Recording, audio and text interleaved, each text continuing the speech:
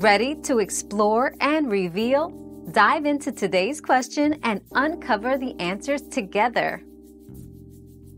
Yes, you can eat sauerkraut raw. In fact, raw sauerkraut retains all its probiotic benefits vital for gut health. It's also rich in vitamins C and K, and low in calories. Cooking it might kill beneficial bacteria, so consuming it raw maintains its health benefits. Simply serve it as a side dish or add it to salads and sandwiches for a nutritious boost. Your daily dose of discovery ends here, but the journey of learning never stops. Subscribe and join us again for more answers tomorrow.